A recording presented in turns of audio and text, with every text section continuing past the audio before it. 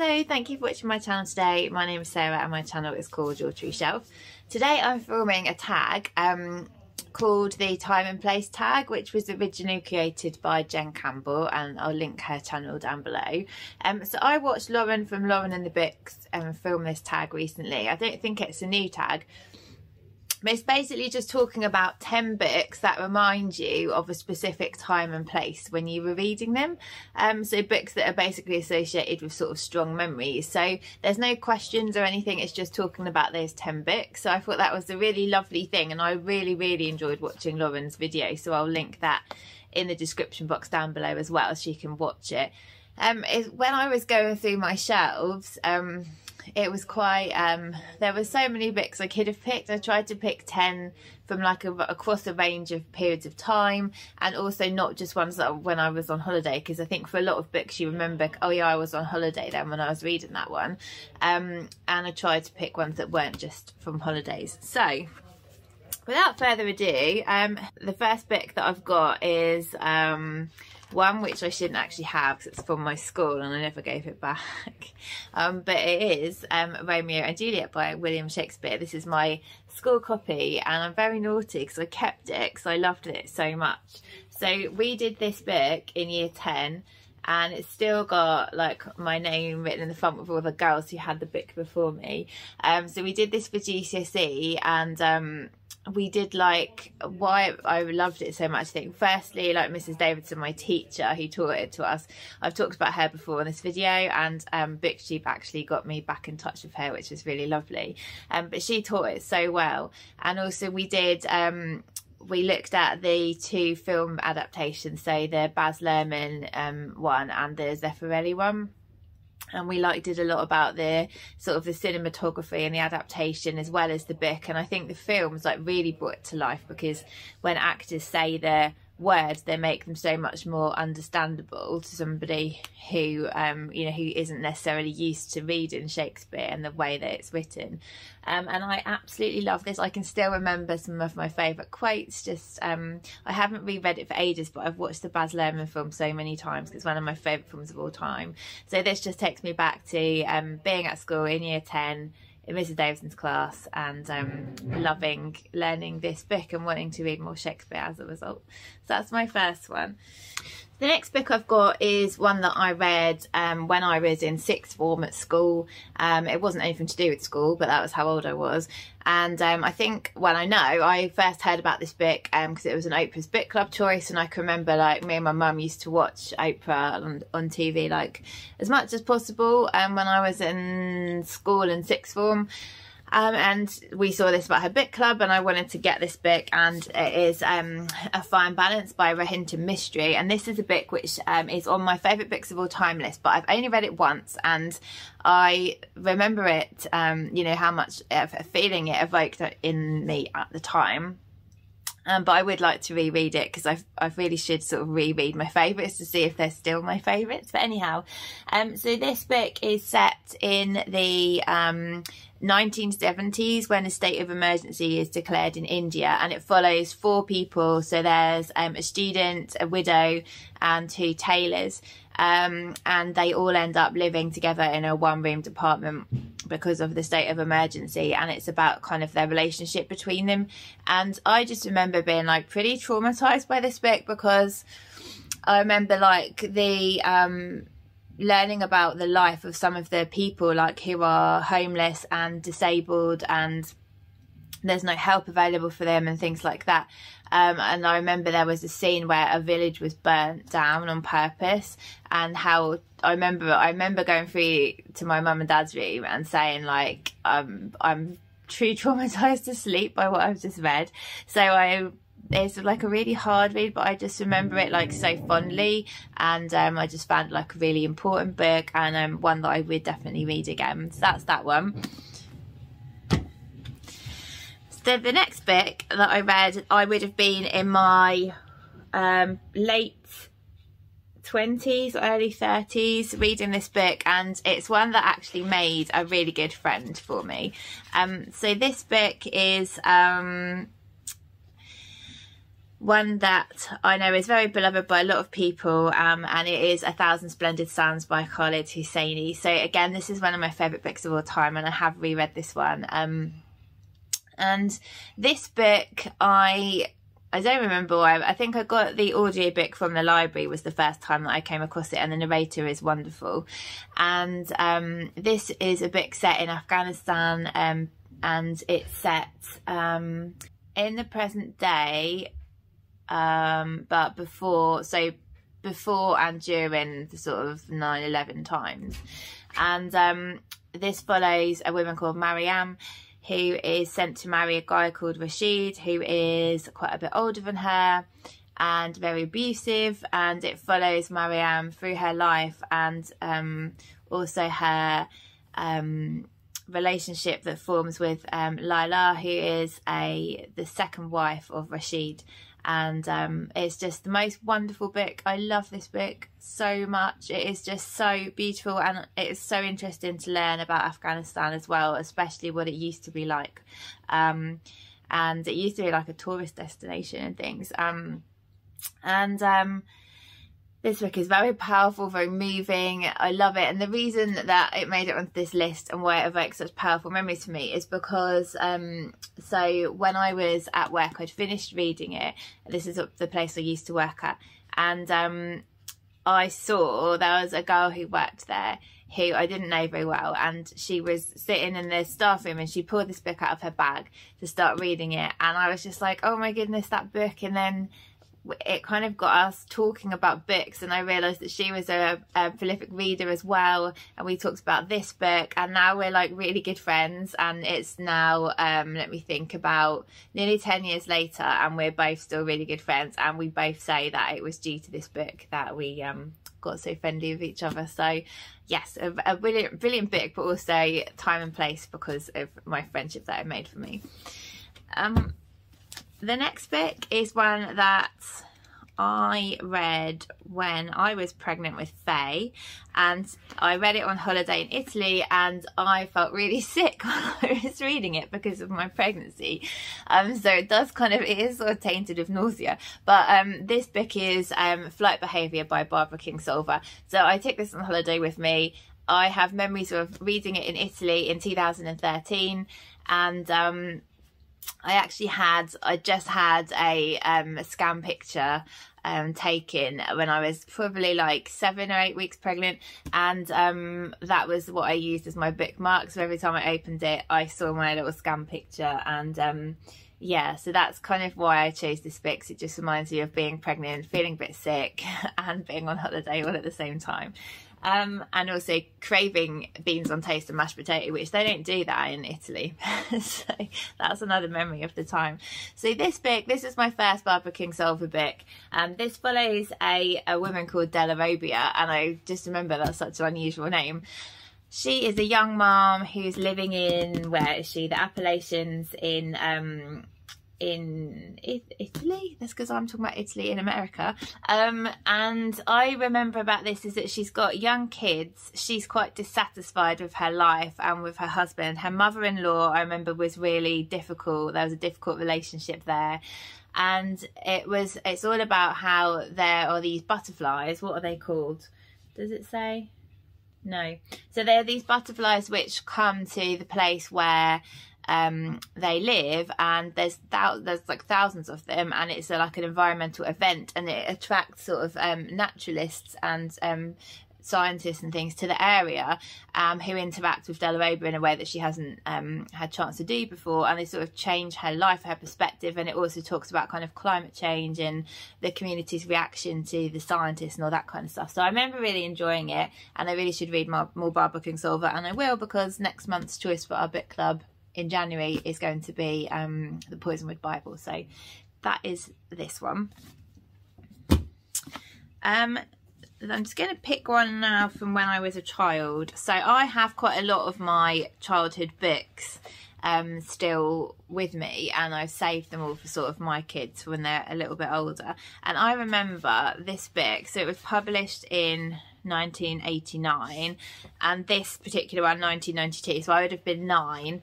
Um, and I remember we used to have these school book fairs where like trolleys of books would come after school and you could go and look at them and, and buy them. And this was one I got from there. And this is called Spellhorn by Berlie Doherty. Um, I um, liked unicorns before it was called like unicorns. So when I was at primary school. Um, I remember there was another girl in our class who liked unicorns as well, but it wasn't like everyone's mm, obsessed with unicorns like they are now. But this is a book about unicorn, and I always loved the cover. Um, and I just, it's like a fantasy book. So it just says on the back, um, Laura and Spellhorn, the unicorn, have to cross the sea of snakes and fight against terrible danger before Laura can return home. The Spellhorn, the treasured possession of the wild ones, has befriended Laura, and is only he who can lead them to the safety of their beloved wilderness. So um yeah, I just remember like loving this book, reading it as a kid, um, the magic of the after school book fairs. Um, and it would just be, I don't know how well it stands up in time because I haven't read it since the 1990s. But it would be nice to kind of give it to Faye whenever she wants to read it and see if she likes it too. So that's that one. I have one more from when I was a kid. I could have picked all of the books when I was a kid, but I thought, well, people probably aren't going to like take those as recommendations. This one is one that I think this was the first book I ever, like my first chapter book that I ever had. And I, the thing I remember about this book, so this was published in, so this edition, 1993, so I would have been 10. So it can't have been my first book because the other book I would have been nine. This is the first book I remember in my head buying, but obviously it wasn't. Um, and the reason I remember it is because I got a lamp for my bedroom and I was really excited that evening to go and put my lamp on um, next to my bed so I could use it to read with. Um, this is why this book stands out in memory. And this is The Animals of Farthing Wood by Colin Dann. Um, this is still around because I actually saw it when I was in the children's section of Waterstones um, this week. I actually saw this book um, for sale. Um, and there was a TV series. So this cover is a, like a TV series tie-in from when I was a kid, which I'd really like to see. But it's probably on YouTube somewhere. But anyway, so this is about, excuse me, the animals who live in Farthing Wood.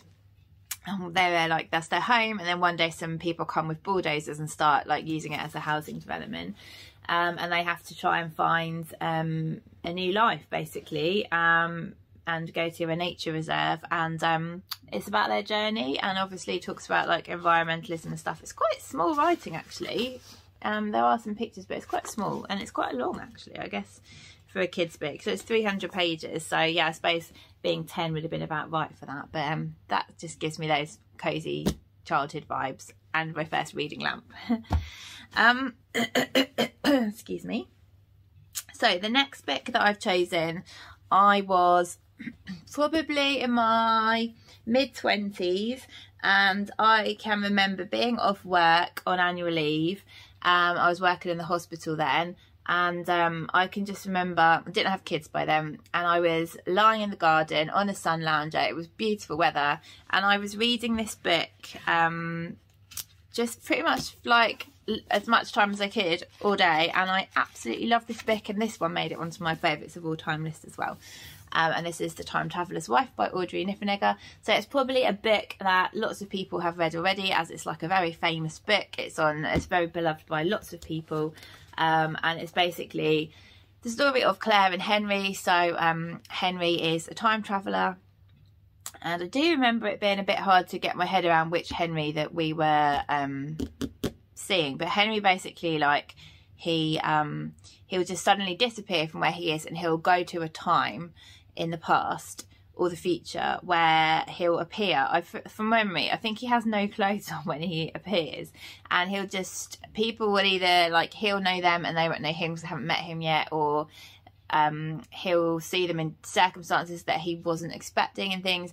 And then so Claire um, is is his wife, which is going to be his wife, hence the time traveler's wife um, but she's marrying someone who is um, time traveling is really hard because she doesn't know like which Henry she's going to get all the time and stuff. But I'd love to reread this. The film wasn't that great, but I love Rachel McAdams. She's in the film. But there is, I believe, a new version of this coming out, a new adaptation. But anyhow, um, yeah, this is a wonderful book, so I'd highly recommend that one. Um, the next book I've got is one that my dad chose for me, and I think this is the only book my dad's ever chosen for me. And um, I think it was like at Christmas time, and I'd asked for a book, and I think my mum had probably dispatched him to go and look for a book for me. and um, which doesn't which is weird because I don't my mum wouldn't normally do that. She'd normally do it herself. But anyway and he came home obviously with this book. And um, if you look at the cover you wouldn't think it was a great book but it was a great book. And I am reminded if you can hear bells ringing it's my cat. He's just coming um I when I read this book I was doing a job in the hospital that I really didn't enjoy and it made me pretty miserable and I can remember reading this book at the time and it was just the kind of comfort and lovely read that I needed at that time. And um, I can remember specifically like it was it wasn't a very busy job and that was one of the reasons I didn't like it because I was bored. And I can remember being ward cover um, for one like so you had this um, ward covers basically where the day team have gone home but you're not on nights you've done your day shift but you have to stay till the night team start um, to kind of cover any things that come up on the ward. So I think you have to stay till about 10. Um, so it's like, a, and you have to do it every other day for two weeks. So you're kind of there from nine in the morning till 10 at night every other day for two weeks. Um, and I just remember being quite fed up and I can remember sitting in the staff room when I had some breaks and um, reading this book and it being really lovely and I've talked about it for ages so I just need to tell you what it is but this book is one, like I say, you'd look at the cover and you'd walk past it in the supermarket, but it's really good. This is called Chocolate Girls by Annie Murray. And this is about um, some young women. So the main character is called Edie and she gets married quite young because she's not very happy at home. And she has a baby and the um, baby dies or yeah, um, when she's only 19 and um, her husband is killed in World War II that's when it's set. And then she has, um, there's a baby which gets abandoned. Um, where does it get abandoned? I don't know, during the bombing in Birmingham. And she takes the baby into her care and decides to raise him as her own. And it's about kind of the consequences of that. And also it focuses on her best friend and her her marriage and things. And like I say, it's set on the background of World War II. And the reason it's called Chocolate Girls is because they work at the Cadbury's factory.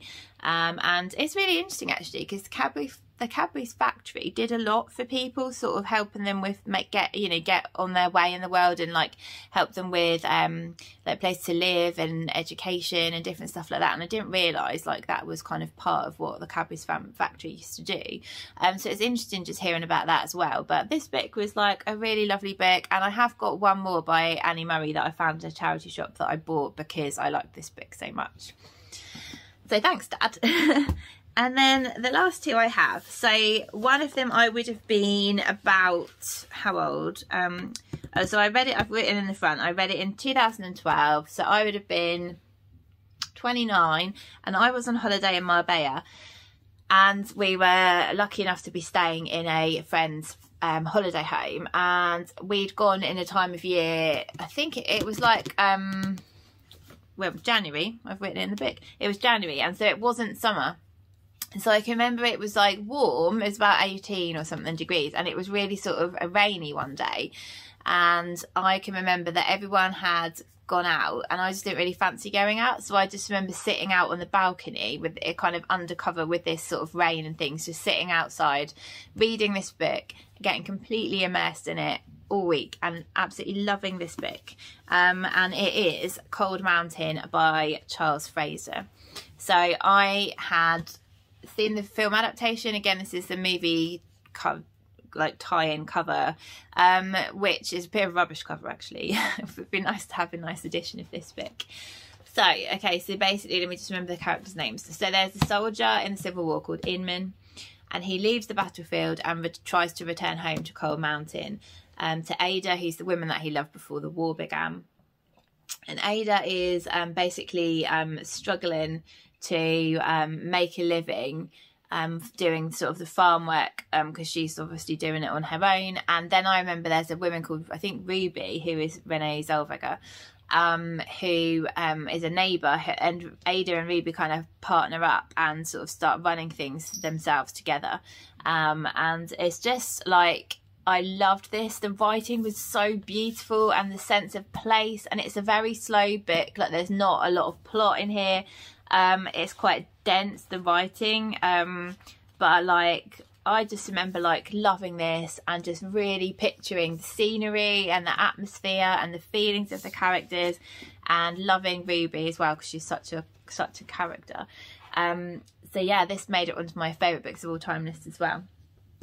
And then the very last one that I have is a book which I really loved. Um, and it's one that I bought in hardback and it sat on my shelves for quite a long time. And I remember, so Faye was about three and we just had to move her into her own room because Guy was going to arrive soon and um, Guy needed to have the nursery. So Faye was moving into her, into her big girl bedroom and I decorated it for her and everything. And she was um, into her bed for the first time and she just didn't really like it. She just felt like she was like unsettled by being in a new room and being on her well she's always on her own in her room because well since she was out of our room I mean. But she didn't like being on her own in a new room and she used to say like mum can you can you read your book and sit with me while I fall asleep? And the the room that she was in was the room with all my books in. And she I said to her like pick me pick me my next book. And this is the book that she picked. So I can remember sitting like in a sort of a rocking chair like near her bed reading this book every night while I was waiting for her to fall asleep. And the book is um, Under a Pole Star by Stef Penney. So this is a book which is a um, a book set in the Arctic. Now when is it? So 1889 so there's a woman called um, Flora Mackie and she is the daughter of a whaler and she ends up sort of falling in love with the Arctic Circle and wanting to be an explorer but it's like a really difficult for her as a woman to do this in this period of time and then there's another man called Jacob DeBain who is um, an explorer and they're all sort of trying to map out the Arctic Circle first. So there's like this kind of race to um, discovering new new lands and things. Um, and um, basically, Flora and Jacob's paths cross and they have like ambition and everything and they're kind of rivals but they also form a relationship together. I'm not going to tell you what kind of relationship but um there's it's a it's a really lovely like emotionally um intense and beautiful surroundings and um like a good character study with some um, romance and stuff in there and um, loved it really loved it. And um, I'd really like to read this again actually as well. So I haven't actually got any other books by Stef Penney so I should look into that. So that is my memories of the time and the place where I read those 10 books.